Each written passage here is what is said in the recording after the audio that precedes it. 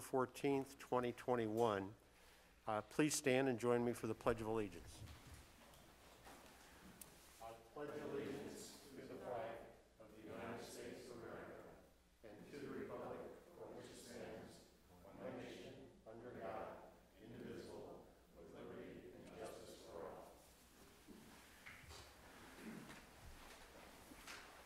Thank you. Upcoming meeting dates for the planning board are October 12th, 2021, and November 16th, 2021.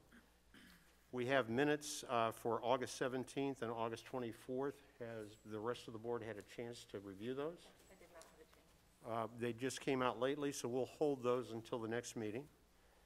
Uh, So we'll start with a roll call. Richard Campbell, Lori Chi, John Eichman, Ed Miyoshi. Sarah Bledsoe, A little announcement about um, face masks. If you're not vaccinated, we ask that you wear a face mask except when speaking at the podium. And if you are vaccinated, you're free to go ahead and wear a face mask anyway, as many of us are. The State Farm application will be moved up on the agenda for tonight. We'll actually move that to just after the uh, two extensions of minor subdivisions. And I do want to make an announcement that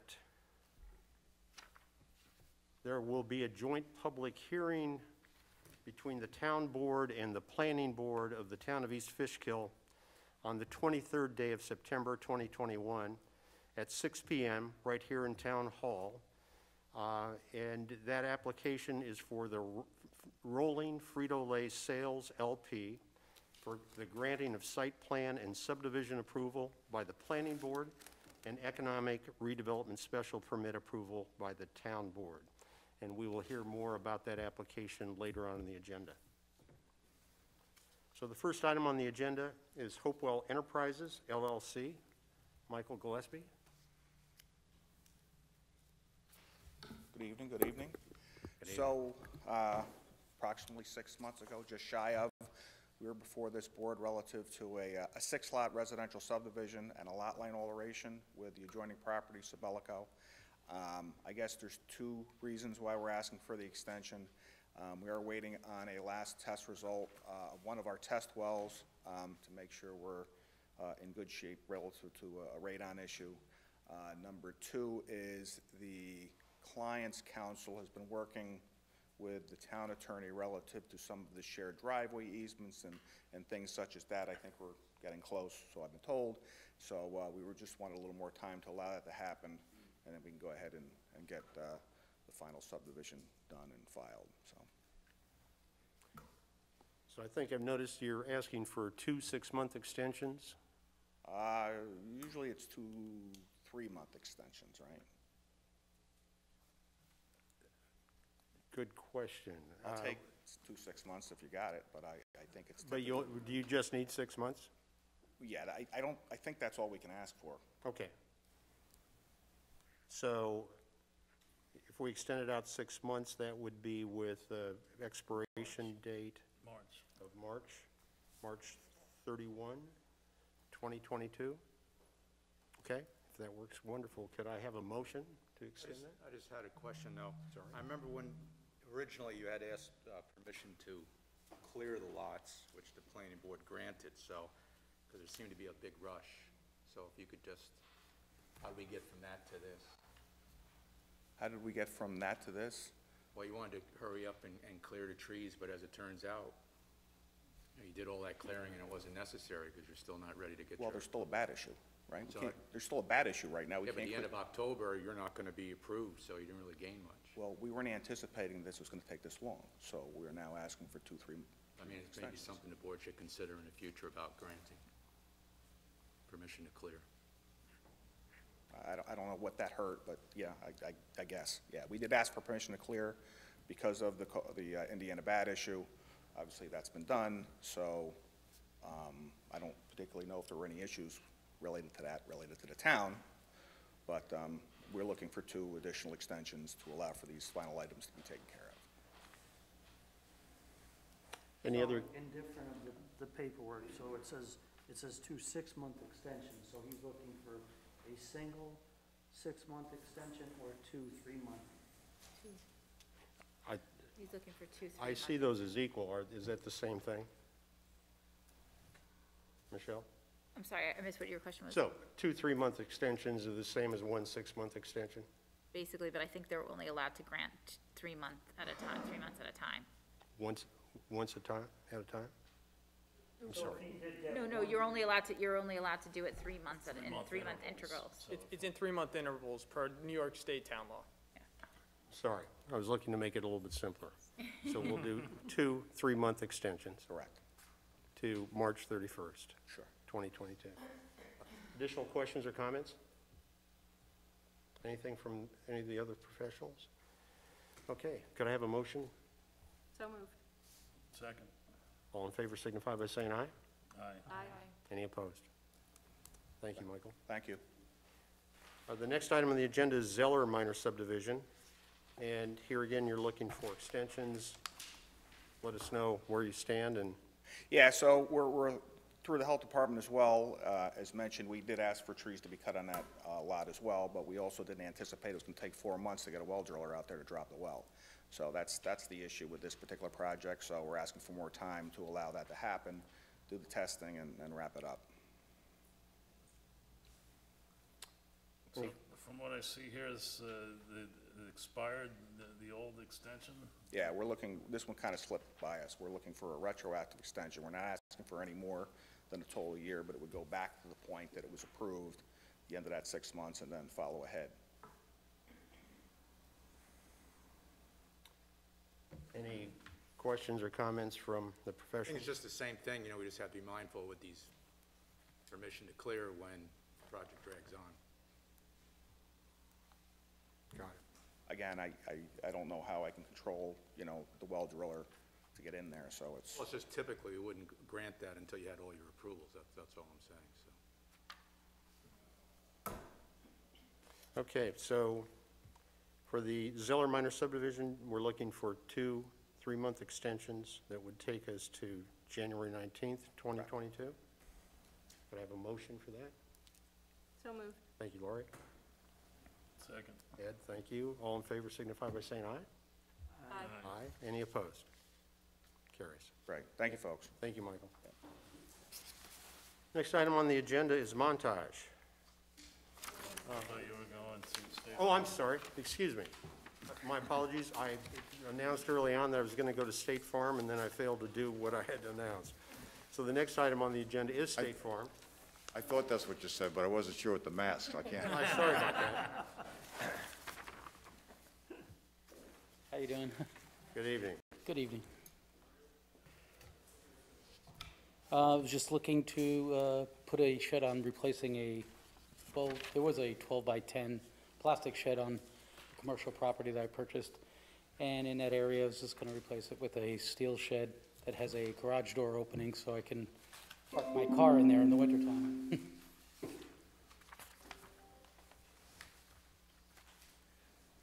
So you said the existing shed, It was an existing, uh, one of those plastic sheds. It was a 12 by 10 that was back there that uh, the prior owners used for just storing his uh, car cleaning stuff. He has a a limo business had there.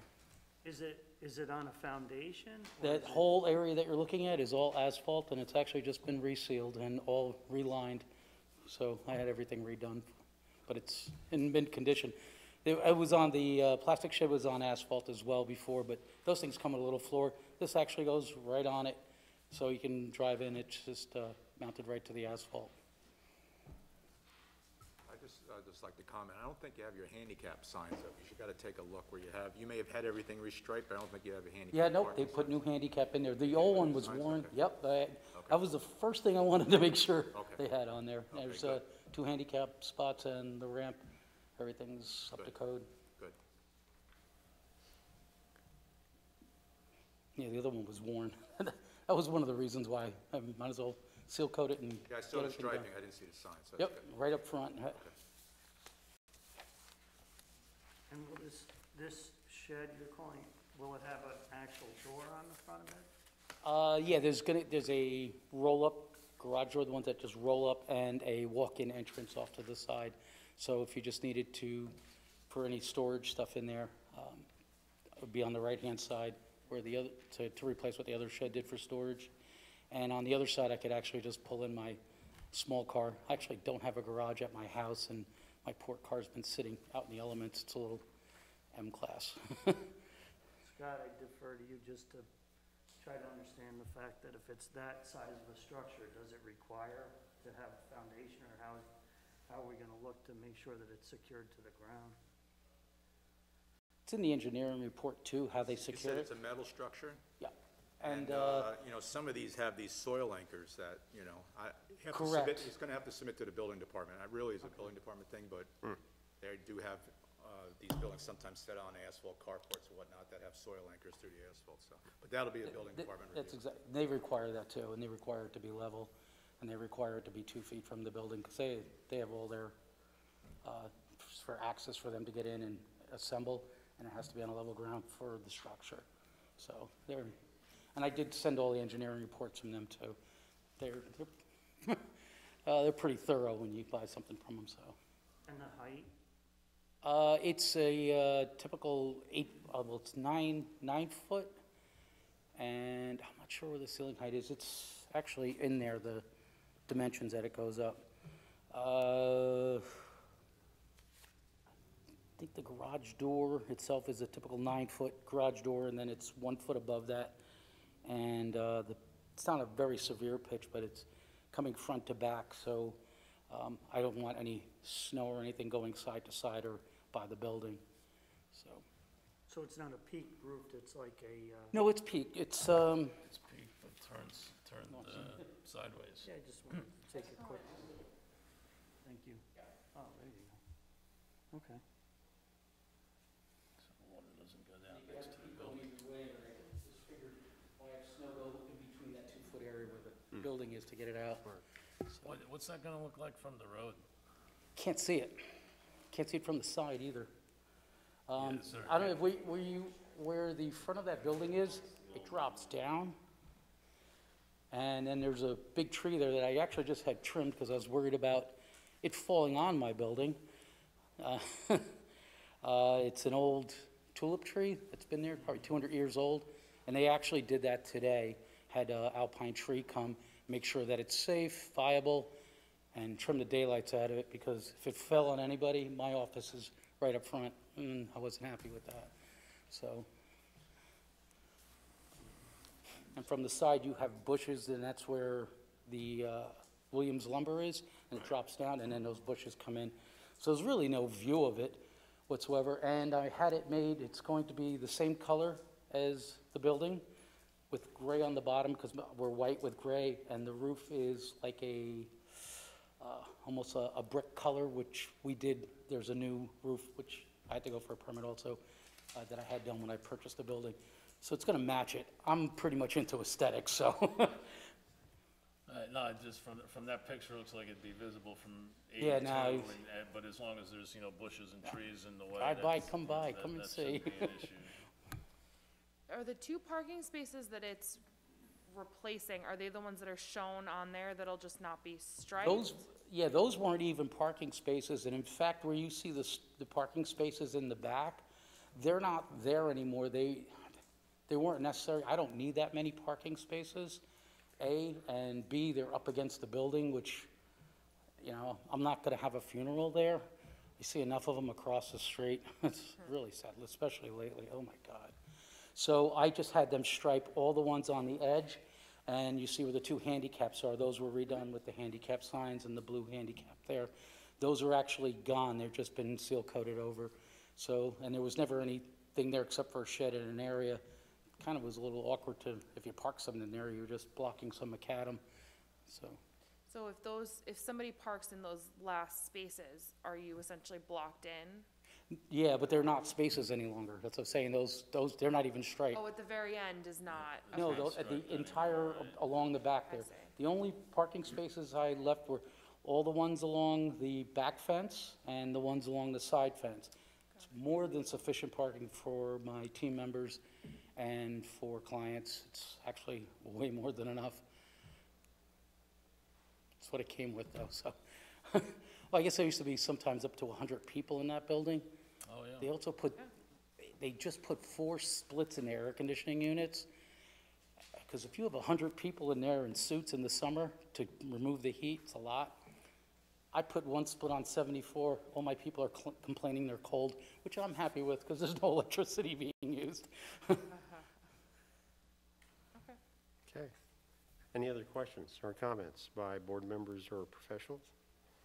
Okay, this is a minor site plan, so, Sorry to have, just, Michelle, knowing that this last of the spots aren't striped, I'm assuming it's still paved where the spots are that you removed? Yeah, I, I didn't change anything that way. So do we want to include that in the adjustment here, to just note think we that they should- could be what we returned to parking? Yeah, I think what we should probably just do is, uh, what I can do is just note in the resolution the number of parking spaces that are actually out there. Okay? So I, I will ask you, Ken, maybe I'll, tomorrow, maybe I'll run over there and just count up the spaces. Yeah. There were 52 and I removed eight, Okay. or the lines anyway, I guess. okay. um, This is a minor site plan, and so no public hearing is required. However, we do need to refer this to the Architectural Review Commission. Um, Could I have a motion for that referral? Second. So moved. Motion and a second. All in favor signify by saying aye. Aye. Any opposed? Okay, excellent. So we do have a resolution for approving this. It'll be subject to the approval by the ARC and subject to the final count for parking that we just discussed. This is a resolution of amended site plan approval for State Farm Insurance. Whereas the above referenced applicant applied to the Town of East Fishkill Planning Board for an amended site plan approval to construct an 18 by 18 metal garage, whereas the proposed garage would be located to the rear of the office building on the existing paved parking area, whereas the garage would replace two existing parking spaces, whereas the site would still have sufficient parking capacity, whereas the action is considered a type 2 action under SEQR, and no further SEQR review is required. Now therefore be it resolved that the planning board approves the amended site plan titled Map of Survey for the Lands of 900 Route 82, Town of East Fishkill, Dutchess County, New York, prepared by Robert V. Oswald, dated April 14th, 2021, and last revised through September 9th, 2021, with the following conditions. Number one, approval of shed from the Architectural Review Council. Be it further resolved that within five business days of the adoption of this resolution, the chair or other duly authorized member of the planning board shall cause a copy of this resolution to be filed with the town clerk and a copy sent to the applicant owner. And I just revised the whereas clause, I said whereas the garage would replace two existing parking spaces for a total of 44 spaces on the site. Correct. And they'll inform me when the review's done, or? They- they- They'll inform me when that's completed, or? Uh, Yes, yeah, yeah, you'll have to go through the, um, the application process. We'll, I'll, I'll call you tomorrow Okay, and perfect. walk you through that. Great. okay? All right. Because the building department won't, won't issue a permit until that's all done as well, so. This is, this came in just by way of ex- explanation. This, he did not realize he had to get, uh, site plan approval for the garage. So he went to the building department for a building permit and they referred him to the planning board. So we got him on this agenda as quickly as possible. And that's why we, we normally would sort of try to simultaneously do the, um, A, ARC. But the ARC, um, wasn't meeting until this, this month. So that's how it's working. Okay, thank you. So could I have a motion to approve this resolution? So moved. Second. We have a motion and a second. All in favor signify by saying aye. Aye. Aye. Any opposed? Okay, thank you very much. Thank you, have a great night.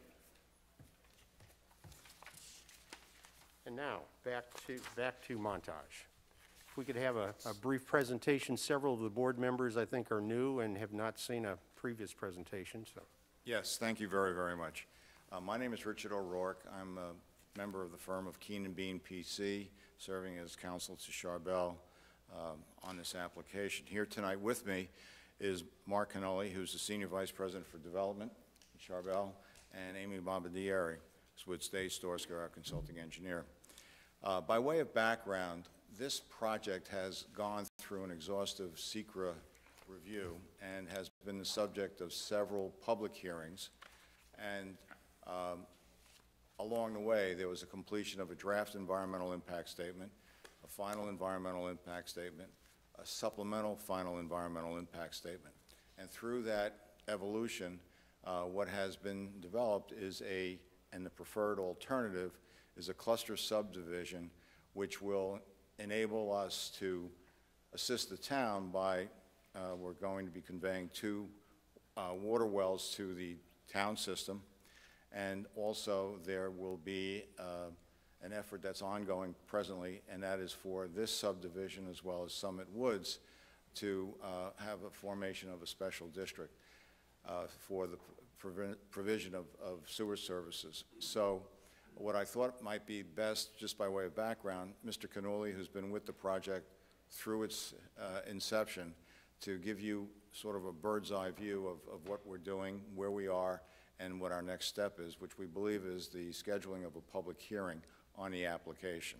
So with that, may I turn it over to Mr. Canoli? Thank you. Thank you.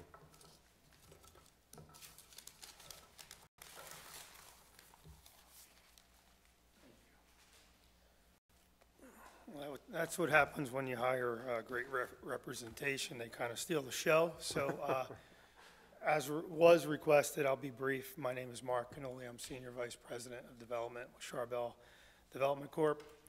We've been working in East Fishkill. I see some new faces. Um, We've been working in East Fishkill since 2004. We started this process, uh, the- this is the Tucker Farm on Route 52, where it intersects with Route 216.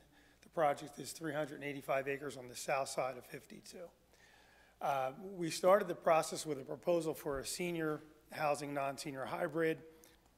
Worked with the town, at that point, the town uh, uh, zoning and, and planning board decided not to proceed with, with that type of zoning, so we went forward with an as of right application, worked with the planning board at the time. Um, And through the course of several years, we got through, as Mr. Rourke, uh, O'Rourke just mentioned, um, a supplemental finding statement, and then eventually a, a finding statement, and here we are tonight um, in uh, 2021, a few years later, a little more gray hair. Uh, A lot more has gone on, Um, but we're excited about where we are. Um, What we're doing now is we're working with Mr. Bryant on the off-site sewer um, analysis. We're working with our adjacent property owner at the Summit Woods property and combining our efforts to uh, support the town's study of the capacity of the Four Corners sewer treatment plant such that we can combine our sewer flow and direct our sewer up to Four Corners versus building a new regional um, water treatment plant, sewer, sewer treatment plant. Um, As was mentioned, we have two high-yielding wells on the property that will serve our property as well as the Summit Woods project. And uh, it was also requested that we study those wells for, for both uh, water quality and capacity to see if we can tie those in to the town system as well as a backup system for Four Corners. Um, We believe at this point, we have the engineering um, completed such that we are prepared for the, uh, if, if the board decides to proceed with an uh, uh, October um, public hearing, where we'll go into a little more depth uh, with the application. I- I think by that time, we'll have some technical review memos that we may need to respond to. Um, We're also working with uh, outside agencies, including the DOT uh, for the intersection of 216 and Route 52. For a few years, we had contemplated what improvement we would do there. There's going to be a full realignment of that intersection. At this point, the, the state is, is, is opting for a traffic circle versus a signal. So that'll be a nice element there to calm the traffic, realign 216 with 52 and our new drive that will serve not only our property, but will connect all the way through, as you can see on the exhibit, three pods of development, and then eventually connect over to Summit Woods, and then through Summit Woods would connect back out to Route 52. So there's been talk of that master plan being constructed for several years, and this project brings that forward. Um, In addition to that, we recently submitted, um, we gave a package to the town, to the DEC for three um, wetland crossings that are at existing farm roads. We've worked with them for several years. We've done habitat studies, we've done everything that you can think of, cultural studies, and I believe we're very close uh, in getting those permits as well. And that would also include the water uh, withdrawal permit. So All of the outside agency uh, permits are pending. Um, We've been providing updates to the town. I, I believe the town has most of our correspondence that we've had with outside agencies. We continue to copy you on those. So we look forward to seeing you uh, in October and, and concluding the, the public hearing on the subdivision. Great, thank you. Any questions? Uh, Yeah, uh, Brendan, about, uh, yeah, I know um, traffic circles seem to be the uh, new, new wave here, but given the amount of tractor trailers that are going up that mountain and down 52, is that really a great place to have one of those? Um, I I actually have not seen a plan for the roundabout yet. Uh, I don't know if there's a a preliminary or conceptual plan that's been developed yet. Um, You know, there, there's certainly, uh, modern roundabouts are capable of handling, uh, tractor-trailer traffic. Uh, It's just a matter of, of of Coming how off it's that laid long out. straightaway, I'm not sure that they'd be slowed down enough for one of those without some, some other Right. adjustments along the way. Yeah, I, I think that would absolutely be a concern about the, uh, it be, the speeds being a little higher there, uh, once you get past the Taconic and, uh, being able to, uh, uh, slow down and negotiate a, a- a roundabout, so I think that's, you know, an important aspect of that. Um, I, I know, we- you know, we also haven't really, uh, been involved in any of the discussion with the DOT, uh, or jointly with you guys, so that's something we should, uh, we should look to do, uh, um, so that we can, uh, you know, uh, work on that and coordinate with the DOT alo- along with, along with that. Because I think at one point in time, it was proposed to be a signal. Yeah, Mr. Miyoshi, we'll, during the process of the SEQR, we had contemplated a signal at that intersection. Some of those comments came up regarding traffic. You saw Route 52 has been recently reconstructed out there. It's a two lane, one lane in each direction. There is a plan, it's a draft plan that's been submitted. Um, Both the signalized intersection and, and the roundabout was submitted to DOT. They have opted to proceed and have us look in a direction of a, of a traffic circle versus a signalized intersection. I'll provide that, that plan, I, I thought we had given you a copy of that, I apologize. That hasn't been submitted yet, but, um, we'll give you a copy of that as well. Um, it's been in, designed to accommodate, as you know, emergency services, fire trucks, uh, large tractor trailers. Um, in fact, lucky for us, the, the real estate needed for that circle, we also have uh, control of the northern uh, quadrant uh, owned by the Tucker family as well. So all of the land needed for the circle is land that we control. So there isn't going to be any condemnation. There would be some realignment of some driveways, um, but I think the benefit of that traffic circle is realigning 216 at a very dangerous intersection um, and having that traffic calming, you know, at the intersection of, of a new development, so. um, But we'll, we'll provide you with all of that um, in our, I guess we can do that by the 28th. I think that Uh, was our Did you deadline. mention to DOT about our uh, discussion of providing uh, access to the rail trail from this community? About having some type of crossing on? You know, 52? Sir Brian, I haven't had that opportunity yet, but I did see that trailhead right there. I don't see why that would be something we Just to couldn't be do. incorporated in Yeah, that design. it's a, it's a very good point. Um, why don't we do, we'll send you the draft plan. I would hope that by, before next meeting, we would get some comments that we could formally address and be ready to, to discuss those. And if, you know, if we have the time, even maybe meet offline before the meeting, hash out a few of those details, but we'll bring that up with them as well. In addition, if there's anything uh, related uh, to any of the coordination with DOT, whether it be letters or emails or their reviews, uh, please provide that also.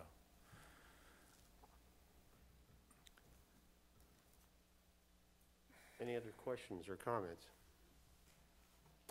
If not, as Mr. O'Rourke alluded to, uh, I think we're ready to schedule a public hearing, and our next meeting is on October 12th, 2021. Um, So if that works for you, we can schedule you for that date. Absolutely. Could I have a motion to schedule a public hearing for Montage on October 12th, 2021? So moved. Second. Moved and seconded. All in favor signify by saying aye. Aye. Aye. Any opposed? Okay. I'll Thank see you in Mr. October. Chairman. Thank you. Thank you. Thank you very much. Thank you.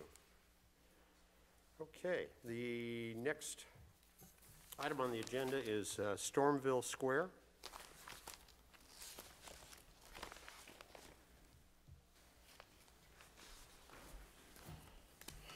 What's going on? Good evening. How are you guys? Great.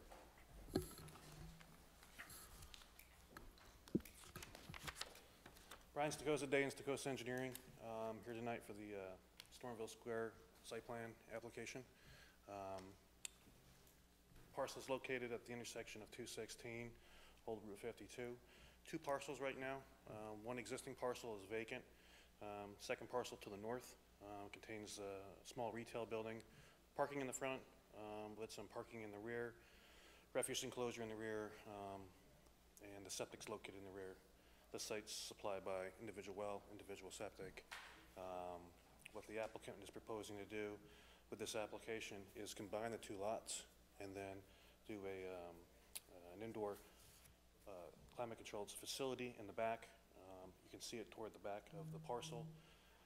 There'll be a new commercial entrance along uh, Route 216. It'll be um, a a larger intersection that we're typically used to. We're going from the 24 to the 36 with three lanes. So it'll be a right in, left out, and then a right out. Um, With this layout here, we've, we've located um, the building toward the back. It allows a a full-size tractor trailer to um, go around the site, which also means it can accommodate uh, fire trucks, uh, emergency service vehicles around the site. In doing so, um, since we've made this application, we've done some additional field work on site. So we've gone out and done soil testing uh, in the area of the, of the proposed building and where the retaining wall is. And we found that there's actually some, um, some fairly good uh, sandy loam material. So what we're gonna do um, in a, in a further revision is um, we're gonna move that rear retaining wall forward a little bit. Um, So we have a little bit more buffer between the residential component um, toward the east. Um, And I think in talking to the applicant, instead of doing uh, like a vegetative screening buffer, um, maybe do like a terraced uh, uh, grading down to the retaining wall so we can reduce that, that wall height as we pull it away from the property line, and then just do a reinforced fence on top for fall prevention. Uh, But the, the- the game is um, to try to move that wall forward, um, give a a bit of a more of a buffer area between the residential component, um, and have a fence on top. I think it's gonna be easier to maintain um, than in having a larger landscaping up on, behind the wall. Um, We obviously received your comment letters. Um, We have had, since we submitted uh, to the board, we had a conversation with DOT in the field. Uh, They reviewed the entrance, we have adequate sight distance. Um, We have to get some information to, uh, to Brendan's office regarding turning analysis. Um, But I think the, the- the trip generation that's going to be um, uh, generated by the site is not going to trigger a traffic study or anything like that, but I think we just need to narrow down some of the turning uh, uh, movements in and out of the site, but we'll obviously coordinate that with, with Brennan's office, and we'll supply any correspondence that we've had with DOT, with his office, so we're all on the same page. But um, some of the conversations that came up in that DOT meeting is, is um, in our proposal that we submitted to the board, is we had a a two-way entrance um, off of our new entrance into the existing front parking lot uh, of the retail building. So the, the thought was is, let's try to avoid uh, conflict at that, that new entrance location and take that two-way into the existing retail. Let's, let's have that be curbed and then maybe uh, gain two more parking spaces in, in the front. And we can relocate some of the parking that we need uh, toward the back. Uh, But that's something we'll coordinate with your office. Um, But those were the general topics of conversation uh, in the field with DOT. They seemed amenable to the proposal, um, and we'll, we'll take it from there with them. Okay. Any questions? Comments? Yeah, the only thing, I was at the meeting with DOT, and uh, they did, initially anyway, talk about wanting to have the entrance onto, uh, what was that, Old 52. And I had mentioned, I didn't think the planning board would be okay with that idea, you know, due to the impact on those neighbors in that area. That 216 made the most sense, so I think by them curbing that other entrance, I think DOT, you know, is on board with, with this new entrance on 216. But we may need to support that with a letter, you know, for DOT. Got it. there any future plans for additional development at the site? At this time, there's, there's no future development. Um, What we try to do is, is just locate the development toward the back um, of the property, and um, at the time, the applicant has no intention of, of further developing the site. I, I- Well, I I thought think there just was to some be- discussion about that. Well, I think just, I think just to be clear, I think any development on that corner may hinge upon, you know, utilities coming into that area, so. Right. I think Brian's right at this point, because there are no utilities, I don't believe they have plans, but I think if the utilities come, I think they'll be back. Right. Okay, we have two actions to take tonight. One is to declare intent to be lead agency. Could I have a motion for that? So moved. Second. Have a motion and a second. All in favor signify by saying aye. Aye.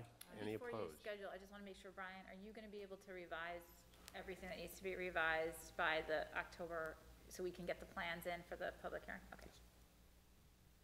Okay, so October 12th will work. So the second action that we'll take is to schedule a public hearing for October 12th, 2021. Could I have a motion for that? So moved. All in favor signify by saying aye. Aye. Aye. Any opposed? Okay. We'll have, we'll have elevation, did we receive elevations yet? Yeah, I actually have have them. I can show them right now. Hmm, great. Yeah, we did a preliminary sketch layout um, uh, of some elevations and some color renderings, uh, subject to But you need that for modification. the public hearing, for sure, Yep. so. Yeah. Okay, Great. At this point, do we, co- do we coordinate with AR, I forgot the process with ARB, do we make application to them too in, in Yep. concert? Okay. Yep. So actually, you should actually refer to the ARB if we haven't Good done that already. I can't remember if we did that last time. Let's, let's go ahead and do that. I'll accept a motion to refer this applicant to the ARB. So, uh, yeah. Okay. Moved and seconded. All in favor signify by saying aye. Aye. Any opposed? Okay. All right. Okay, I appreciate it. Thank you very much. We'll see you you, in. October. Okay, the next item on the agenda is iPark Buildings A, B, and C. Is there anyone here for the applicant? If not, uh, Michelle, could you just give us a little summary of Sure. where you've been with discussions? Sure.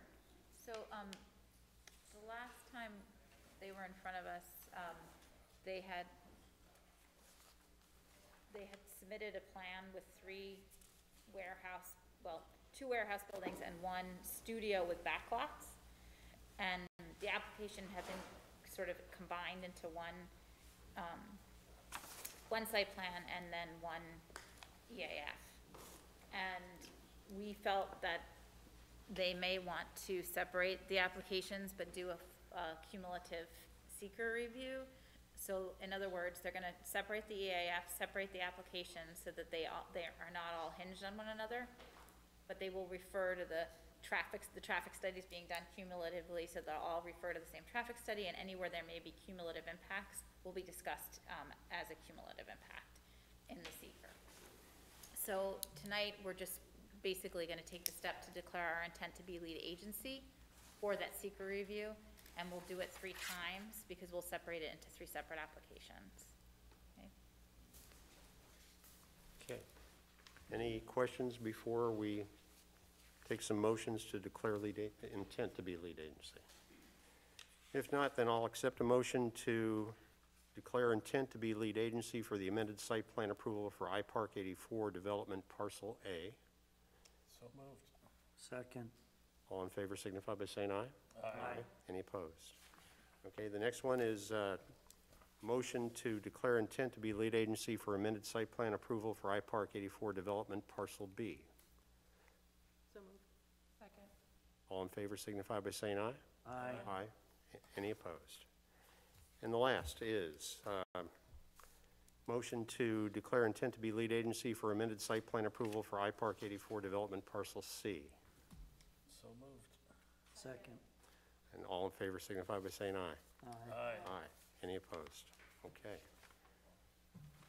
Excellent. Uh, The last item on the agenda is Project Niagara, the Frito-Lay project.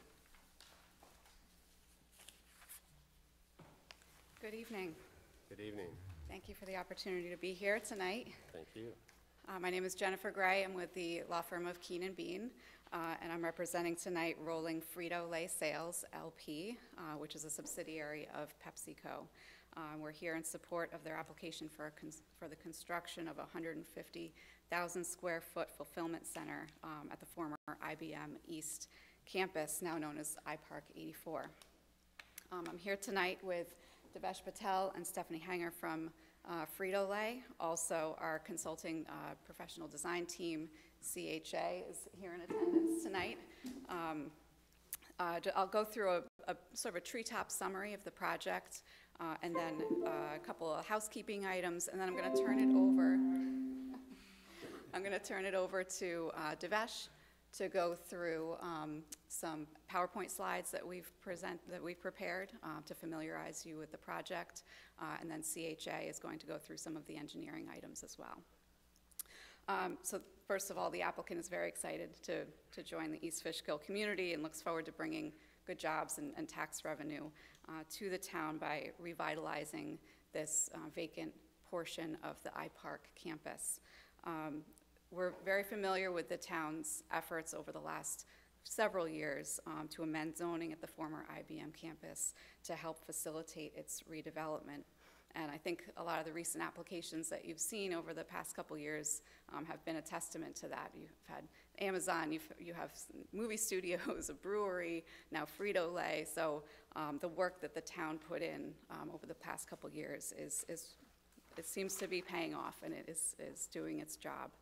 Um, So the location of this site, it's um, the parking lot, basically, that you see um, along the south side of Route 52, uh, between gates 1 and 2 um, at- on the iPark campus. You will probably recall it as Lot 2 and Lot 3 from the 2017 Global Foundries subdivision, uh, when they came in and broke up that whole east campus into several lots.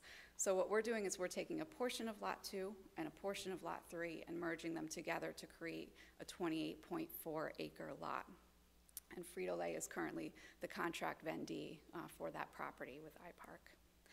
Um, So as I mentioned, the the project involves the construction of a 150,000 square foot fulfillment center. That's one of three structures that we're proposing. There's also a, um, a small guardhouse that is proposed for the entrance of the site. It'll be a controlled um, access to the site, um, and also an ancillary fleet center. Um, the fulfillment center will have in it uh, what's called an automated storage and retrieval system, an ASRS, uh, which is a tall piece of automated machinery, and it's used to optimize the storage and retrieval of the goods that they are um, storing at the facility, uh, most often used in a, a high bay warehouse um, environment. So it allows for the efficient use of the space by storing goods vertically versus taking up more of uh, footprint on the land. Um, While most of the fulfillment center is designed to be about 50 feet in height, uh, well below the 80-foot threshold um, in this district, um, the portion of the building where the ASRS is located, and it's about 25% of the building uh, footprint, um, that necessarily needs to be higher than 50% to house the machinery. Um, When we submitted the application a couple weeks ago, that taller portion of the building was proposed to be about 85 feet. Um, So we were seeking a waiver from the town board for that extra five feet, going from 80 to 85 feet.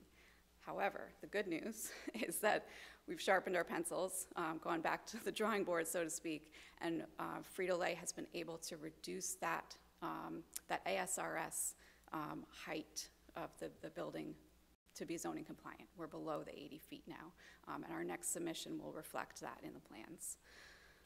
Um, Now, the fleet center that I mentioned, um, that is a- an ancillary portion of the site. It's- It'll be a separate structure um, along West Drive, along that side of the property, um, and it will provide service and maintenance for the vehicles that transport the the goods to and from the facility.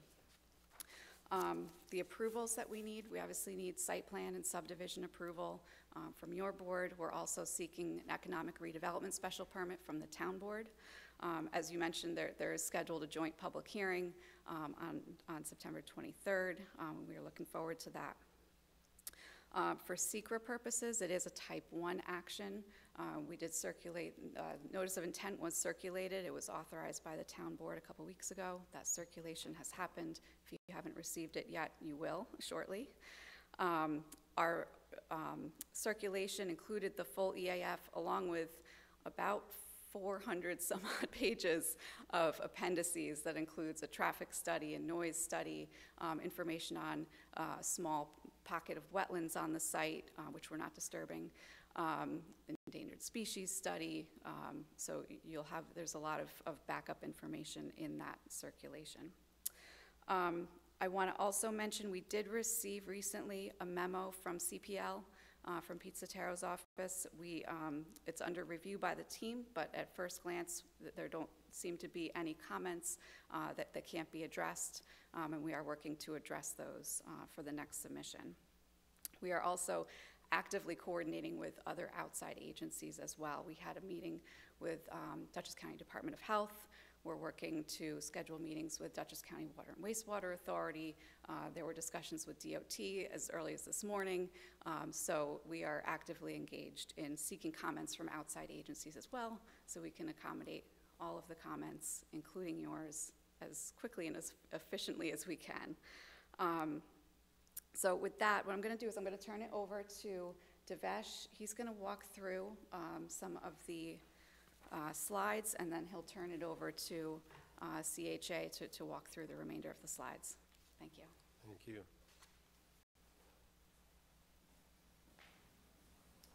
Thank you, Jennifer.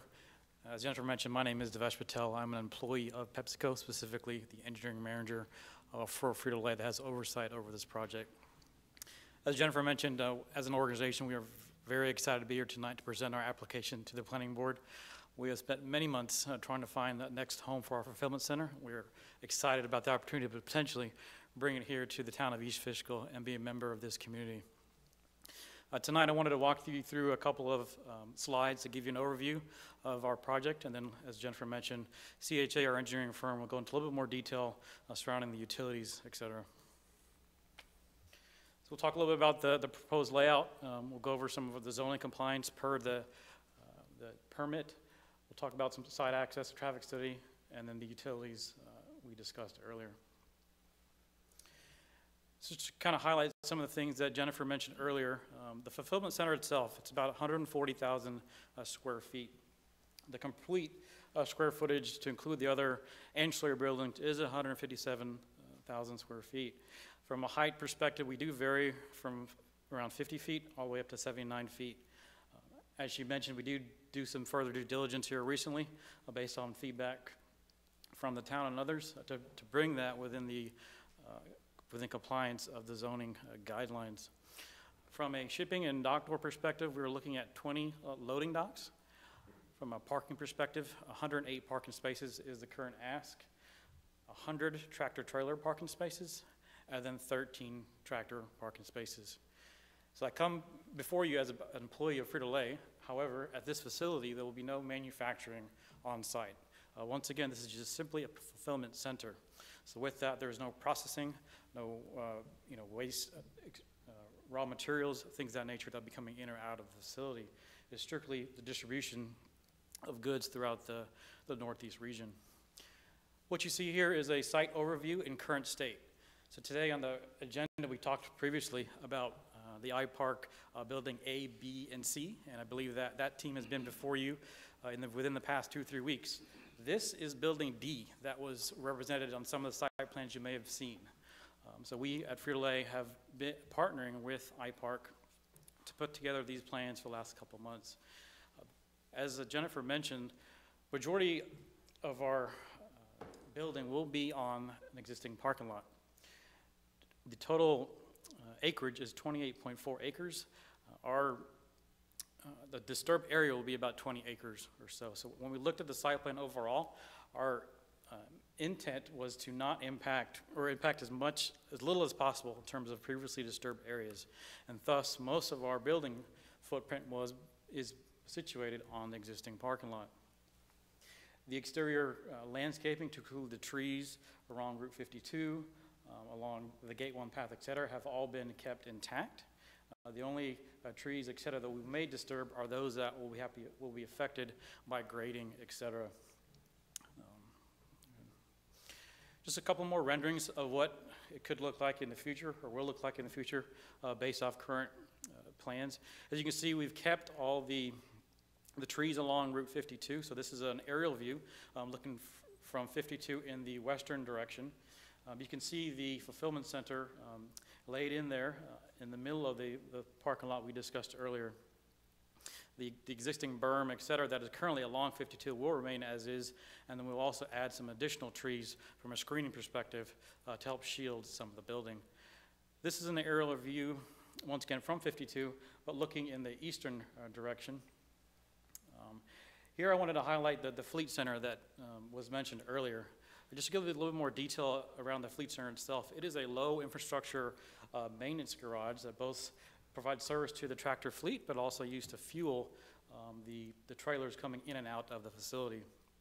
Um, There will be uh, three or four mechanics based there that will be doing that type of activity. There will not be any additional traffic, I'll say, coming in and out uh, to that fleet center. It is loc, all the activity is localized there, and once again, is, is more of a low infra- infrastructure um, type um, uh, a building to accommodate some of those tasks. The fulfillment center, uh, as discussed earlier, will, primary use is to uh, ship and receive goods uh, to the surrounding area. And then we have an office uh, complex uh, attached to the building as well. From an overall proposed layout perspective, this is a a 2D uh, depiction. As you can see, uh, through the, through the various shades of green, we are adding some landscaping to the uh, existing layout. Uh, We are not looking to add um, any acreage from an impervious uh, perspective as we look at stormwater and things like that. We'll get into some of that here in the future slides, but um, overall, like I said, it's, uh, it would be about 28 acres uh, that we're looking to uh, develop on at this time. One of the, one of the key things as well is we were not being uh, impacting any of the wetlands, uh, natural resources, any of the species, uh, things of that matter uh, that are on the property uh, today, which is a- another bonus. From a zoning compliance perspective, uh, we, we did uh, take into consideration the front, the rear, and the side uh, setbacks. You can see there from the yellow outline how we are in compliance um, with that as we've laid out our fulfillment center and our fleet center. This is a, the zoning and compliance um, uh, overall chart. As you can see, we are in compliance with all the various metrics outlined. Um, Just to, just to kind of highlight a couple of them, uh, we've already talked about the overall height um, itself staying within the, the 80-foot um, uh, requirement. Uh, We have our, the maximum lot coverage currently at 59%, and then the building coverage around uh, 12.69. So um, overall, no, we are in compliance of, of all the uh, asks at this time. I will highlight that this area is uh, classified as light industrial from a zoning perspective. Um, This was the former parking lot for um, the former IBM uh, team there years ago. From a site access perspective, um, the employees and, and tractors, trailers will be coming off of I-84, uh, come down uh, iPark Boulevard. Uh, Currently, uh, with our current site plan, the tractor trailers will take a left onto uh, Shenandoah Road, uh, going through Gate 3. And then from there, they will take a right and come up uh, that path and they're in- onto the property. From, for automobiles and personnel, currently, we are look, we are looking to come off of Route 52 and through the Gate 2 as shown there. We are aware of some discussions that are ongoing as, as recently as this morning uh, with various uh, uh, members uh, to perhaps revisit that. We are taking that into consideration, um, and uh, we'll vet that further um, in the coming days. Um, But currently, based off the application as submitted in current state, uh, this is the current uh, proposal as such. From an overall site access perspective, once again, we wanted to make sure we kept the circulation drive that is currently around the property, uh, a lot of, primarily for emergency access as well. Um, Should there for- be a need for uh, fire or whomever, the fire department, et cetera, uh, that access is still intact um, in current state. Uh, We will also uh, be using that for um, tractor-trailer uh, navigation as well throughout the property. From a security perspective, we will have a guardhouse um, at the Gate 3 entrance uh, to monitor who comes in and out of the property. And then we were also planning to have uh, security for the personnel uh, entrance as well, to make sure we can truly uh, restrict uh, access uh, on the property. Having said that, uh, should emergency services be required, uh, they will also leverage that same, uh, can leverage that same access point.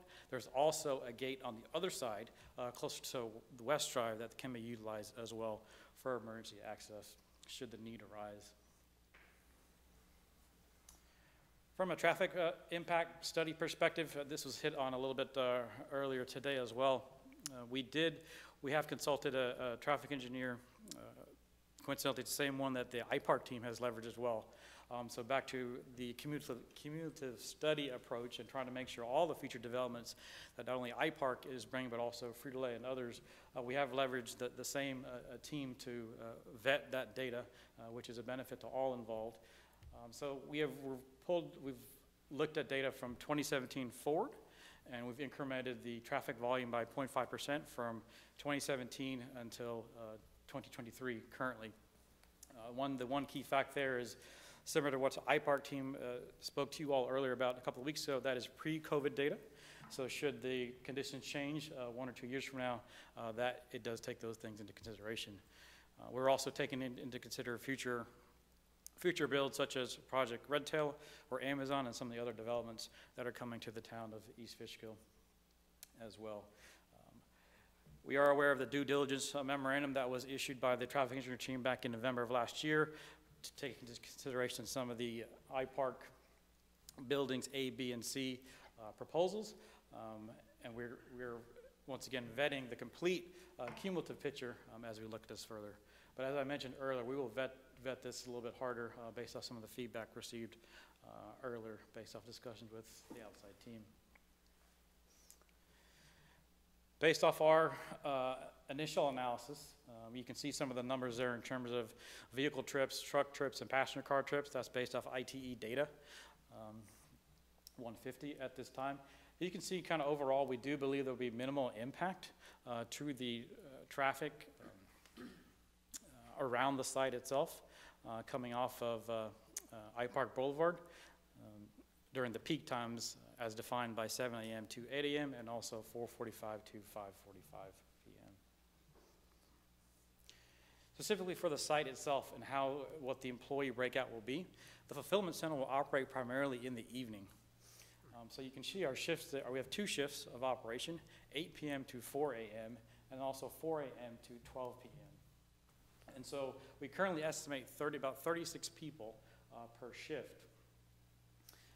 And so you can see the breakout there. Our peak time uh, for Frito-Lay will be around 4 a.m. And that is where the shift exchange, if you will, will occur. And so that's where majority of the traffic in and out from the site um, will occur based off of our operating schedule from a business perspective. We do have some uh, uh, people at around 8 eight people uh, during uh, what we call the, the morning or the day shift. And that's mainly administrative staff that will help support the business um, at that time. All in all, we're looking to bring about 80 full-time jobs um, to uh, the town of East Fishkill, and you can kind of see the breakup there um, as shown. From a parking perspective, to accommodate um, our employees, you see the, the breakdown of uh, what that looks like from a fulfillment center of 90 parking spaces, five of which will be for ADA purposes. The fleet center, uh, which is on the far left of the drawing there on the bottom, will have 16 uh, parking spaces, uh, two for ADA, and then finally two parking spaces for the guardhouse employees. So as you sum all that up, around 108 total uh, auto parking spaces. So we believe we are conservative in that approach. Uh, once again, 72 would be the max at shift change. So no concerns there about uh, parking uh, needs going forward or any sort of overflow, in our opinion. From a trailer parking perspective, uh, we are looking at 100 uh, parking spots there uh, once again, and then from a tractor perspective, 13 parking spots. Having said that, I will turn it over now to CHA to go through some of the uh, utility analysis.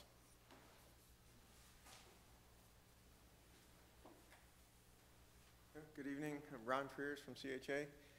And just trying to take you through some of the site utilities and the information that we have for that. Uh, Stormwater for the site, we anticipate no increase in impervious area. Um, And the initial stormwater report showing that uh, attenuation, detention, retention is not required. Uh, The existing system that's on site for conveyance will be reutilized. There will be some portions of the existing system that we'll be removing where we need to for uh, building and, and areas where we do need to remove some of the existing system. Uh, We'll be putting in some new storm system, tying into the existing that's there. Uh, Discharge points from the site will remain where they are now uh, without an increase in, in pre-development runoff at those discharge locations. Uh, We anticipate using uh, stormwater treatment units to treat water quality leaving the site, which at the time that the storm system that's there was developed wouldn't have been required by the stormwater regulations, but uh, treatment of water quality would be required now, so the intent is to use uh, treatment units at the discharge points leaving the site to treat the water quality. Next slide. Yeah, so here you can kind of see the, the general site layout. Um, red being the new stormwater infrastructure lines, the darker blue being the existing lines and kind of where we're tying in there, with water quality treatment units being at the, the ends of the existing lines where we're going to be tying into the outfall locations. Sanitary sewer, uh, there is no sanitary sewer on the site right now, and the intent is that we would uh, provide sanitary sewer in three locations at the guardhouse, uh, the main fulfillment center, and the fleet center, and that those lines would come together and go to a point at the southwest side of the site, tying into the existing system that discharges to the existing park treatment plant. Uh, estimated load of 883 gallons per day. The fleet center will have an oil water separator at the discharge point uh, to treat the truck maintenance bay wash water prior to exiting to the sanitary system. And again, uh, the, the intent is to use the existing business park treatment plant. Um, currently, the plants have three lift stations shown to get it to the final discharge point in connection to the uh, existing system that leaves the site in the southwest corner of the site. We may uh, be able to reduce that to uh, two, I believe, uh, at, a, at, a, at, at least. Um, we're going to take a little bit more look at that, but you can see the general configuration uh, coming over from the guardhouse. The guardhouse is kind of down in elevation quite a bit from the main fulfillment center, so that would definitely uh, be pumped over at least to the main fulfillment center area, and I, I believe it may be able to go gravity with a portion of that line going through our site um, and then connecting down to the southwest. So that's the intent with, with sanitary. Next slide. Um, domestic water, there's an existing 20-inch line going through the site, and we're planning to relocate a portion of that 20-inch line on the north side of the building. So where you kind of see the line 45ing up and around the fulfillment center would be a, the relocated portion of the existing 20-inch water line.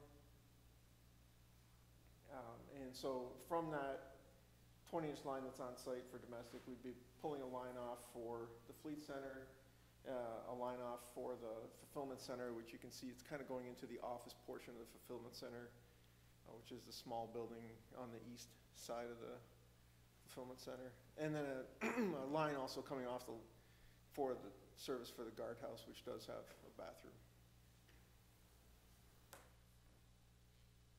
For fire protection water, there's an existing um, fire protection line on the south side of the site. Uh, it's part of the business park, so we plan on doing a loop around the building. Uh, it's a 10-inch loop that will go around the building for fire protection with service into the fulfillment center. And the plans show the detail on the hydrants. I believe there's um, five hydrants located around the, around the building off the fire protection loop. That's for fire water. There is a well water line on site that we will not be impacting or using. So just noting that that is on site, but we're not impacting or using the water line. Um, Natural gas is available to the project site and uh, is estimated to come off of 52 down um, into the site, serving the fulfillment center and the fleet center. Next slide. Uh, Electrical, currently, uh, we're working with Central Hudson Gas and Electric on that. Uh, The preliminary routing is shown from Route 52. I think uh, we may have some discussion with the business park on potentially coming directly from business park sources, but I think that's, that's still to be determined. The current plans we have now are coming off of 52, and then distribution throughout the site to the, to the three buildings we have on site. Uh, For the sound study, not sure if uh, anyone wants to comment more on this, I can, uh, I don't have a lot of background with the sound study. If you want to take that one. So we did conduct a, a sound study um, here recently with the three, three markers as shown on the drawing to understand the impact, um, specifically uh, from the uh, tractor trailers and also the uh, HVAC units that would be uh, in the facility. Uh, Based off our uh, data and research, we would have, uh, we are in compliance with the current noise ordinance limits of- of 70 dBA and also the limits and guidance provided by the DEC. Um, You can kind of see there some of the meth- methodology that we used uh, to determine, to uh, evaluate that, being cognizant of uh, the residents on Route 52, uh, you know, MP1's trying to make sure John Jay was not impacted, uh, et cetera. So, uh, but we feel confident that that will have minimal impact uh, to the surrounding areas at this time. Once again, as a, as conclusion from that, as you can see, uh, the data uh, there, it ranges from one to, to three dBA at those three source points.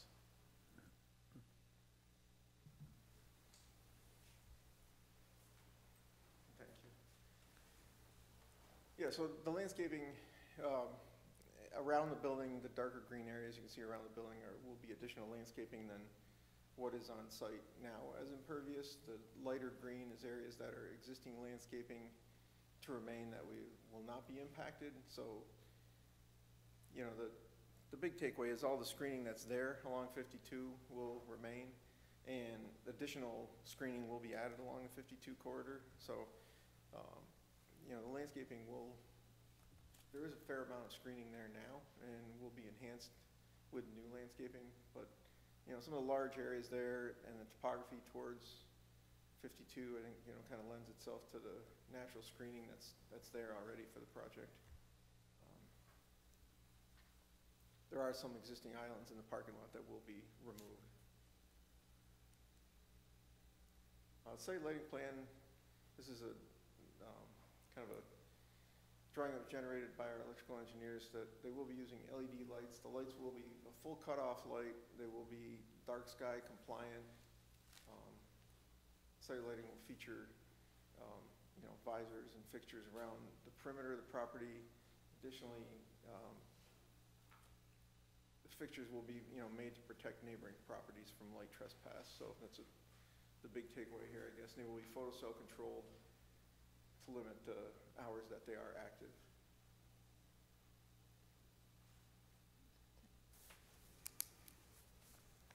I think that might be- Is that it?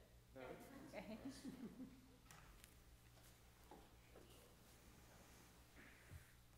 So we're happy to answer any questions you may have. Um, We understand this was a lot of information um, uh, to to absorb. Um, uh, We do anticipate making a supplemental submission, obviously, to respond to comments that we've already received from CPL and any forthcoming comments from, from Michelle uh, Robbins and from your traffic engineers.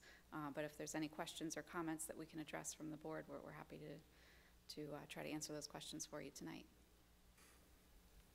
What was the thought behind no, no signal at gate two? If you're gonna Behind no signal on Gate 2? Right. Um, The, the traffic study that was performed by AKRF uh, revealed that the, it- the uh, level of traffic coming into Gate 2 would not meet the traffic warrants for um, New York State DOT uh, to signalize that intersection. Yeah, I'm just trying, I'm thinking of somebody trying to go out and make a left on the fifty-two out, out, out of there, going down towards Palin Road, that could be an issue depending on the timing. Right, and Gate Two is something that we're, we are um, exploring with DOT and with, um, with the town's uh, outside traffic consultants as well. And it, it's an issue that, that we did discuss with AKRF, uh, in terms of, you know, the, what, the proposed operation of Gate Two would be. Um, it is, you know, it was originally signalized, the signal's been, uh, bagged for an awfully long time. The configuration of that intersection is, you know, there is no left, left turn lane on fifty-two to enter the site. So it's, it's, uh, you know, I think the DOT is gonna have a big say in, uh, you know, what's gonna be allowed there based on the traffic. I think that the traffic generation that's currently on the table isn't gonna rise to the level of meeting the warrants for signalization. Uh, the DOT, and, and, and I think the town too wouldn't necessarily want another signal in between, you know, Palin Road and, uh, and Limekiln anyway, uh, but I think, uh, you know, that, that's, that, you know, we did talk today about the operation of, of Gate Two. I think one of the questions that, uh, you know, um, and thank you for the presentation, and I have a, a much, uh, better and more thorough understanding of the project and, and how it functions. Um, but I, I know the, uh, you know, the only other access into the site externally, I think the, uh, the connections to, uh, West Drive are actually emergency exit, uh, entr- or access, right? It- It's gated. Yes, that uh, is the and intent, closed. to I mean, have it's it not- it's not- gated. It's not automated gated. Uh, And then the only other access would be where you in- intend to uh, bring the, the trucks through. Uh, And I think the question that, that I would have is that, is that access limited to the trucks, or, or- or is that also available for the employees to enter there also? I believe that is available for employees as well. Um, I think the uh, intent is that the majority of the employee traffic would utilize the Route 52 uh, Gate 2. Um, But my understanding is that, you know, the the employees would not be turned away if they were to utilize Gate 3. I mean, I think the, the, the issue that's gonna come up with the DOT is that, you know, from, from, uh, from their traffic generation, you know, j- uh, similar to, to Redtail, I mean, they anticipate the majority of their traffic coming from the I-84 corridor. So, uh, you know, if, if, if their employees or any visitors they may have are coming from 84, uh, having to go all the way up to 52 to, to, uh, enter the site and, and make a left-hand turn into the site, I think that's, that's gonna be the issue that, uh, you know, they're, they're gonna have to if, if that's the operation that they intend to go forward with, they're gonna have to make, you know, demonstrate to the DOT that that's, that, that, that's gonna function properly. Um, so I think that's, if they can get into, uh, you know, if they can go in uh, at, um, Otter Park Drive or Gate Five at South, South Drive, what- what- whatever, uh, has multiple names, I know. Um, you know, then, then, you know, they can have direct access north, uh, you know, into their facility, um, you know, up closer to, to Gate Three. Um, certainly the trucks using and utilizing Gate Three, that intersection is signalized, has a long, uh, storage left turn lane there. Uh, it's very, you know, it's- it's, it's situated and adequate for tractor-trailer traffic, so that, that makes a lot of sense. And it's, uh, you know, once you enter the, the complex, it's in close proximity to their site. So gate three is gonna be shut down from public access then, and will just be for your employees and your trucks? No, Gate 3 would remain as it is today. Um, Gate 3 is not part of the parcel uh, that, that Frito-Lay is acquiring. Um, Gate 2, uh, which is the one uh, Yeah, to the that's the right, one on yep, 52 yep, along there, yeah. 52, that, um, if it's um, approved as proposed, uh, then that would be closed for public access, that would be for employees only. If there were the, the errant, you know, uh, public vehicle that, that were to come in there, they would be directed to, you know, turn around at the, at the guardhouse um, and exit back onto 52, or just continue on down, um, what is that, East, East Drive. Okay, no, I was just making sure, because I know some people, you cut across from Shenandoah Road to get into there and then make the left down towards Sloop and all the other stuff. They're, they'll still be allowed to do that. They will still, yep, that will still be open access, absolutely. So- So a couple of little questions that, that, that I would have, uh, for your, for your team is, uh, is, is there, uh, do- does, uh, Frito-Lay have any other facilities of this type? Uh, you know, any, uh, or anywhere else in the country or in, in New York, uh, for that matter? I will let Devesh Okay. handle that. So we have, s- this will be the 16th fulfillment center, similar to this in the United States. 16th? 16th, Okay. similar to, to this one we were proposing today. Uh, The closest ones to here, there's one in Killingly, Connecticut, and there's, there's one in Aberdeen, Maryland. Um, This is considerably smaller, I would say, than those facilities. Um, Those facilities are also attached to manufacturing facilities where this is standalone um, in that. Okay. So, and then I think I understand the operation of this. I mean, you're, you're just going to bring product here and then sort of uh, repackage it and distribute it again. Not, not package it, I mean, you know, re, Correct. sort it and, It'll come in from other manufacturing sites. Yeah. And then get uh, uh, uh, palletized and then shipped out. Okay. Correct. is, is there, is there any available, uh, you know, data or traffic data from those other sites uh, that could be uh, looked at to, to help us and also, uh, you know, the, the DOT when, when they get involved with the project to, you know, understand the traffic generation for this facility? Because it, it, it, you know, it kind of falls uh, in between several of uh, sort of the ITE codes, and I'm not sure it fits in any of them perfectly, and, and, you know, many developments fall into that category. It's not unique in that, in that standpoint. Um, If there is any data or any other information that can be provided in terms of like frequency of, of, of, of trucks uh, arriving and departing, because, you know, the, the, you know, I'm not sure that the data that's derived from, uh, you know, from, from the manual, uh, you know, does, does that aspect of it justice. I mean, I would, I would presume the idea is to move as much material as possible, uh, right? And uh, so it- it's, uh, I think, um, if there's any data that can be provided, uh, that would be helpful in, in- in being able to come to, uh, uh, you know, uh, efficient conclusions. Um, I- I- So I do understand the shifts. Uh, You know, a lot of times, I I will uh, forewarn you that the DOT likes to look at, uh, you know, sort of worst-case scenarios. And so your worst-case scenario is when you have your shift change, uh, so that, you know, they might want you to look at traffic during that shift change, even at the peak hour, because, you know, that's fairly typical.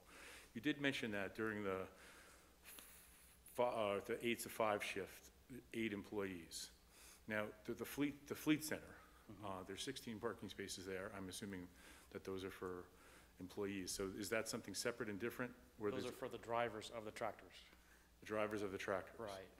Okay.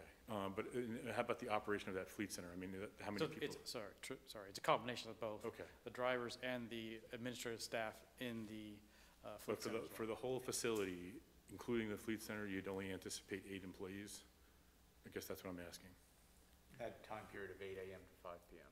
That is our current estimate, yes. That means there's only like a couple people in that big fulfillment center? We have uh, shift supervisors, if you will, and then, you know, senior managers, and then we'll have a couple in the fleet center as well. We can, we can further look at that to make sure that's, that's an accurate number. Okay. Oh, yeah, and again, based on, you know, uh, your other facilities, if there's any, uh, you know, more specific information, information that can be shared in that regard, I, I think that would be helpful. Um, And I think, uh, you know, just uh, in terms of uh, Gate Two, uh, you know, I, I- like I said, I think uh, the signal would be a very, very hard sell. Uh, And I, you know, there, there might also be, you know, the DOT might look to, uh, you know, restrict it. You know, maybe one plausible scenario would be to, to allow right turns in and right turns out. Um, And, and What- those be the about only. What about a roundabout?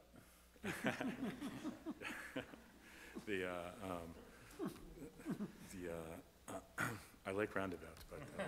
uh, um, I knew that.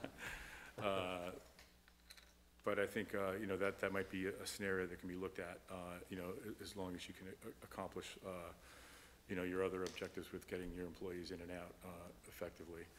Uh, And I- as I said, I think if, if they're able to get in through that, uh, you know, get in the same way or through an auxiliary access uh, where the trucks are coming in, I think that, uh, you know, that's how a majority of, uh, of the people utilizing, uh, you know, majority of your employees would get there anyway, because they'd be coming off the 84 corridor. Yeah, I, I like to coming in using gate three because I was worried about all the trucks going past what's gonna be, you know, down by the art center and all the food places there, if there'd Right. be trucks going through while people were trying to use that. Uh, Wondering a little bit about gate four, which I know is, is- I guess is locked now, but that's like halfway down the I Park Boulevard between three and five there. It doesn't have a, getting across the divided highway there, but there, there isn't, you know, entrance, exit heading from the certain direction there. Yeah, I don't, uh, I, I, I- I don't think that even use has been proposed even in the other, uh, you know, iPark scenarios. Um, uh, That one, I'm trying to remember now, I, I think that one is signalized, but again, I don't think it has turn lanes, Right. right? So it mu, it was, uh, Well, more, I, I, I think that they built the, uh, the guardrails right through it. I don't think you can make a left think you're into right. that anymore. Yeah. But, uh, okay, right. there's certainly, you know, a, a right in and a right out from there heading down towards eighty-four. Right. I don't know if you want to add, Brendan, uh, they made a statement that at the AM peak hour, there's no traffic impact. And through our analysis of Amazon and other projects in that corridor, we know we have that, that AM uh, problem at the school. Uh, So even, even one additional car exacerbates that, but uh, we do, the town does have a plan in place Right. uh, which, you know, I think a project like this will benefit from. Uh, But I don't want to just say there's no impact. I mean, we- Right. we have a plan to, to mitigate it, Sure. Even one car at the AM further exacerbates a difficult situation in the morning with the school. Right, what's, what Scott's alluding to is that there's been, you know, a historical issue with traffic at John Jay High School. And, uh, you know, when, when student drop-offs happen and the buses come, there's an influx, a very heavy influx of traffic in a very short period of time. Um, you know, the, the town has, uh, is progressing projects right now. One is to actually construct a, a roundabout at uh, Auditorium Drive and Route 52 and then, uh, you know, uh, then create a public road uh, along Auditorium and out South Drive out to Limekiln, which then would create, uh, a- you know, a a- a bypass for some of that traffic that is headed to 84. And they would, they would avoid uh, Gate 1 and all the way down Limekiln. So, uh, you know, that's, that's the mitigation that's currently being uh, developed and progressed by the town uh, in conjunction with, you know, these, these developments that are happening. As a, as a point of reference, our startup is currently projected to be 2024, assuming construction would start next year based off uh, town approval. So with construction, where will the equipment and materials be brought into the site? Was it, are they gonna use the entrance off of Lime Kiln? What's the proposal there, or the thought? The current thought, it would come in through Gate 3 Okay. and then come up. um, So go down uh, iPark Boulevard, take a left on Shenandoah, and then go up through Gate 3. Would any of the potential development here affect the public's accessibility around the site to access the public areas that we now have available to us to go to? Are you referring to in the southern part of the property? Just in general, like Sloop, you know, all the different spots. No, we would not be impacting uh, those those spots. And I think if you, if you look at the, you know, the overall layout of it right now, um, you know, East Drive connects into North Drive, which then circles back around and connects into West Drive. So, it- I mean, that loop does get, does get interrupted. Yeah, that's but- what I was gonna say. Okay, right, but access to those areas, uh, and, and, you know, and how they're accessed, I mean, certainly Gate One is a primary, uh, and Palin Road and, and West Drive is a primary access. And, uh, you know, and, and then, uh, Gate Five at, at South Drive and what's, what's now I Park Drive is also the other primary access. What are all the different kinds of products that you're going to handle at this facility? Is it more than the the snack foods that I It- associate with Frito-Lay? It is strictly the snacks foods at this time, so Okay. Doritos, Lay's, uh, Cheetos, et cetera. There is no uh, beverage product or anything of that nature that'll be coming out of this facility. Thank you. And, and they're gonna be using the big tractor trailers, not the smaller, like, you know, bakery trucks that I've seen around? The majority of our fleet is 53-foot strike frame trailers. Okay. Where do they go from here? So there's a, about a four to five hour radius um, outside of um, um, East Fishkill that could potentially go. However, I would say that a lot of our uh, distribution will go to uh, the- the suburbs of the city, if you will. So this is being uh, projected as a strong e-commerce hub for Frito-Lay, just due to the location. Itself. And so that is one uh, reason why, too, we believe uh, we're excited to potentially come to East Fishkill due to this location uh, close to New York City and the surrounding suburb areas. So, um, As, as we all know, e-commerce is, is, uh, th- that business market is on the rise, and we're looking to uh, leverage uh, locations such as East Fishkill potentially to help drive those um, So you're expecting people to like go through Amazon and order a thousand bags of Doritos? We're, we're just looking to penetrate different, different markets at this time.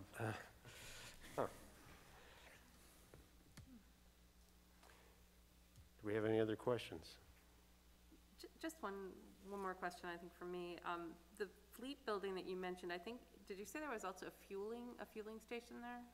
Yes, there will be some, some fuel pumps there to refuel the, the, the fleet, such that they can make their, their, uh, their next run, if you will. Okay, and then you had mentioned the fire, um, the water surrounded the main building. Is there some other fire suppression or something for the fleet building then? Is that separate, or is that also water, uh, supplied by water?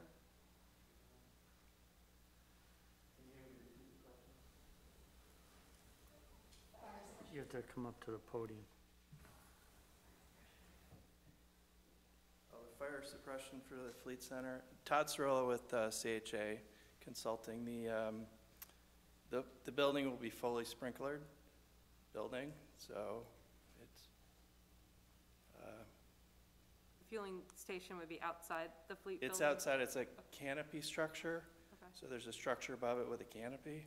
So it is an exterior uh, fueling station, yes. Yeah, Just to add upon that, I know you have the oil water separator for the uh, bay wash, so I would imagine that'll also encompass the fuel filling station as well, right? The oil water separator containment system? Yeah, yeah, the plan right now, there's a oil water separator for the bay wash, and there's a separate uh, containment tank for, uh, if there were fuel spillage, fuel spill, there's a separate containment tank for that underground. Underground, okay. So there- it's a- there's a 12,000 gallon tank for the fuel currently proposed, and a 9,000 gallon emergency containment. And that'll go through the DEC permitting for that storage and, and fueling station, does that go through the DEC? Okay, so that'll be another involved agency, I guess, in this. Okay.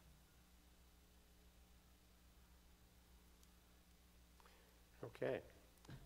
If there are, Just, uh, if you don't mind. Excuse me. uh, 883 gallons a day domestic, do you know what your non-potable demand is going to be for the car wash or the truck wash? I think the numbers included that, That total includes numbers that, yeah. included the car wash. Because it said, it said domestic in the slide. Yeah, that was the total. Yeah, that was a total number, that's probably Okay. error on our part, but it's about one to two trucks, truck washes per day. Okay. Is what we're estimating, and that's about five hundred and fifty uh, gallons per day. So as you look at that eight eighty-three number we quoted, the majority of it is coming from the truck wash operation. Okay. The rest of the water is, you know, typical uh, uh, restroom, et cetera, in the facility. Once again, we're not manufacturing any goods here, so very low water usage overall. Um, I know on that service road, there's what's called the 350 building, and that's where the connection from this site and for the west campus to the Dutchess County Water and Wastewater Authority uh, water line is. And in those buildings are the metering, backflow prevention, and I know that needs to be accessible not just from the Global Foundry site, but also from the west campus as well, and potentially the town in the future. So we'll have to talk about accessing that building, being that you're gating this thing off, because that may need maintenance at any hour of the night, you know, type of thing. Okay. And then the only other thing I'd like to add is any, any meetings that you may have with DOT, that HVA, Brendan, or his office is is invited and involved in those meetings. Yeah, I, I was forwarded an email today, um, just based on, uh, uh, some correspondence sent to DOT today, so I appreciate that, and if you could, uh, make sure that continues to happen. And, uh, even, you know, to the aspect of, you know, we can even, uh, assist in facilitating, uh, coordination in meetings with the DOT. Because there has been a lot of discussions in this corridor over the last year, or so Yes, yes. don't want to reinvent the wheel. Any other questions or comments by board members or professionals? If not, I think the one action that we're required to take is a referral to the ARB Uh, So I'll accept a motion to refer this project to the architectural review. So, second. All in favor signify by saying aye. Aye. Any opposed? Okay. Thank you very much. It's, Thank you very much for your time tonight, very much appreciate it. We look forward to seeing you at the joint public hearing. We will see you on the 23rd. So, is there any other business to be brought before the planning board tonight? If not, I'll accept a motion to adjourn. So moved. Second. All in favor signify by saying aye. Aye. Aye. Any opposed? Okay, the meeting's adjourned.